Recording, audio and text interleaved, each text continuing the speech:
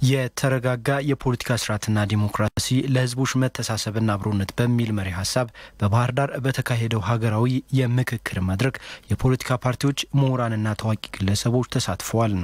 በመድረኩም በዲሞክራሲያዊ ስርዓት ግንባታ ዙሪያ ጥናታዊ ጽሑፍ ቀርቦ ውይይት ተደርጓል።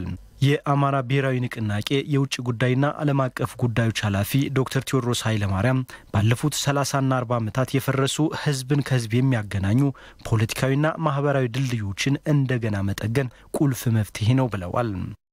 የቤኒሻንጉል አካባቢ አሁን የግጭት ማዕከል ሆኗል። ግጭት ማዕከል የሆነበት ምክንያት በአማራና በጉሙዝ ወይም በቤኒሻንጉል ህዝብ መካከል ባለው ችግር አይደለም።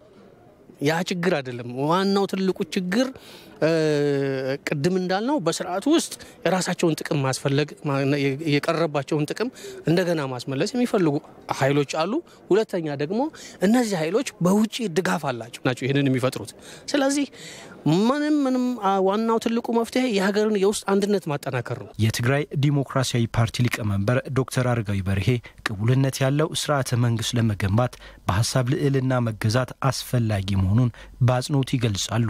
በራሳችን በማንነት እንድንጣላ፣ እንድንፎካከር፣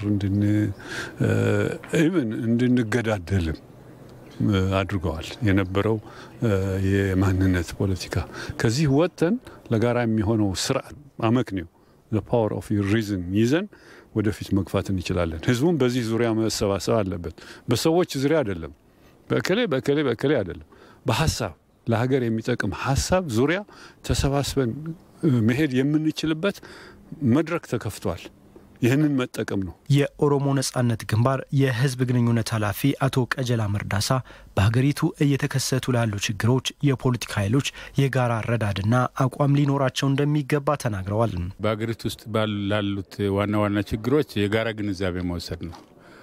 የተለያየ አቋም ይዘን የምንራመድ ከሆነ በተለይ በጣም ወሳኝ በሆኑ ጉዳዮች ላይ አገሪቷ በመካከል ላይ ልትጎዳ ስለምትችል የጸጥታ ጉዳይ ደግሞ እንግዲህ አልፎ አልፎ ግጭቶች የሚከሰቱባቸው አካባቢዎች ደግሞ መንግስትን ነው በዋናነት የሚመለከተው። መንግስት ጸጥታውን ማስከበር ልክ አሁን ትግራይ ውስጥ እንደተደረገው በተወሰነ ደረጃ አሁን የተወሰዱት እርምጃዎች ምናልባት ለወደፊቱ ትምህርት ሊሆን ይችላል ለሌላው። በመድረኩ ጥናታዊ ጽሑፍ ያቀረቡት ዶክተር ሰሚር ዩሱፍ በሀገረ መንግስት ዙሪያ የሚነሱ ጥያቄዎችን ለአንዴና ለመጨረሻ ጊዜ በስምምነት መቋጨት አስፈላጊ መሆኑን ገልጸዋል። እነዚህን መሰረታዊ የሆኑ የሀገረ መንግስት ጥያቄዎች ለአንዴና ለመጨረሻ ጊዜ ሁሉን አካታች በሆነ መንገድ መመለስ ይኖርባቸዋል። ይህንን መደላደል ካመቻቸን ከዛ በኋላ ዴሞክራሲያዊ ስርዓትን ስንገነባ ሁለቱ በጋራ መጠው ነው እችን ሀገር እያረጋጓት የሚ ሰላሙ የተረጋገጠ አስተማማኝ የሆነ መሰረት ላይ የተጣለ ሀገር ለመፍጠር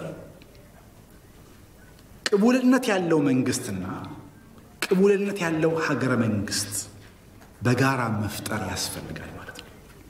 በዛ መንገድ ብቻ ነው ከዚህ ያለመረጋጋት አዙሪት እችን ሀገር ልናወጣት እንችላለን። በኢትዮጵያ የተሳካ የዲሞክራሲ ስርዓት ግንባታ እውን እንዲሆን በቀጣይ የምክክር መድረኮች ተጠናክረው መቀጠል እንዳለባቸውም ተገልጿል። ለኢቲቪ ይህነው ዋጋቸው ከባህር ዳር